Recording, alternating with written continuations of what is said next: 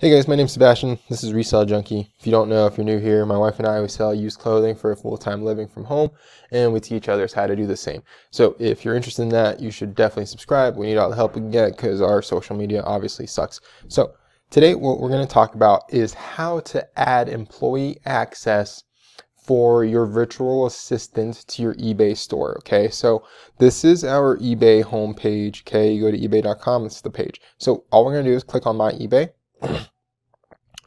now, eBay doesn't make this very easy, which is really odd. I'm not sure why they do this, but what you need to do is you need to scroll down to wherever it says selling tools. Now, your layout might be different. You may have rearranged this. Your selling tools thing might be down here. It honestly, you may not even show it. You may have to go through here and actually add it. So what I did there was, let me just show you guys. Sorry, I kind of really quickly went through that. So if you scroll down on the My eBay page at the end, there'll be this personalize your overview. Just click that, and then you can just add your certain things. So there's some things on here that I just don't really care to see. I don't really need them.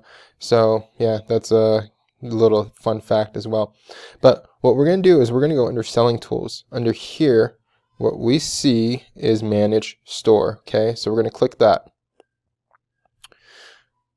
Now again, eBay does not make this easy. I'm not sure why. eBay has never been like employee friendly. It's really odd, but I'm really, really hoping with this new uh, CEO that maybe some things will change. So what we're going to do is on the left hand side, which actually, by the way, guys, this managed store, no one ever talks about this.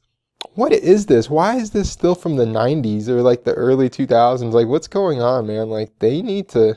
This is weird if your eBay doesn't look like this, like it doesn't kick you back to some old system or something like that, drop a comment below. Maybe there's something wrong with me, but like this is just weird. eBay, it's so funny. You find like all these random pages sometimes. But okay, what you do is press permissions. And then you're here. This is it, guys. This is the page that you're supposed to get to. eBay does not make it easy whatsoever. Okay, so on here, we can clearly add users. I'm not going to go through the whole process because it makes me verify my account, all that good stuff, but you can clearly see I have uh, employee number one, which is my employee that uses stuff. So what he can do is create and edit drafts. He can publish and revise listings. He can research products using Terapeak. He can download our order reports, which all that stuff is super critical. Now you can limit this stuff. Um, let me see. Let's edit his user. Okay, we can't. I don't want to log in and do all that stuff. Let's see if he'll show us the activity log. Maybe at least this shows that. Okay, so cool. You actually get to see what he's done. So employee one created vintage Adidas tapered plant listing. So you can see everything that your person's done. You don't have to be like weird about it. Um, again, eBay doesn't make this easy to find, so I really hope this video helped, guys. If it did, please like it. It really does help the algorithm on YouTube and subscribe for more eBay tips. Visit us at reselljunkie.com for a really, really cool blog and for a free course into reselling.